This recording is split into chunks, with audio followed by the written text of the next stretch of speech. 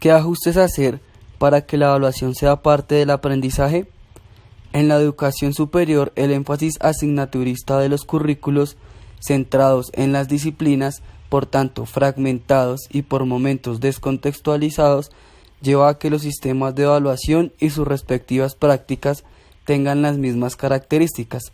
Se tienen entonces los quizzes y los exámenes como instrumentos más recurrentes de la evaluación. Los sistemas de evaluación a nivel universitario se centran en presentar resultados reduccionistas de manera cuantitativa en la nota y sigue dando lugar al ya viejo debate sobre qué diferencia hay entre el 2.9 y un 3.1.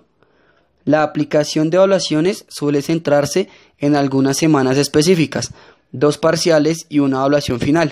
Por tanto, los exámenes parciales y finales de todas las asignaturas se centran en unas semanas, lo cual, además de tener un impacto sobre el aprendizaje de los estudiantes, tiene un alto impacto negativo a el nivel emocional. Estos reduccionismos tienen impactos en los procesos de aprendizaje de los estudiantes, pues se sigue estudiando para la nota y no para aprender. También hay impactos a nivel institucional, pues tiene influencia en el perfil de egresos de los profesionales y en la evaluación institucional, en procesos de renovación de registro calificados y acreditaciones de alta calidad. Es muy poco lo que se avanza. Si los posibles cambios se reducen a los instrumentos o técnicas en la evaluación, ya que si estos cambios no son parte de ajustes en las prácticas evaluativas del equipo docente y de manera ideal impacta el sistema de evaluación institucional. Es muy poco lo que los ajustes en la evaluación pueden incidir en el aprendizaje de los estudiantes.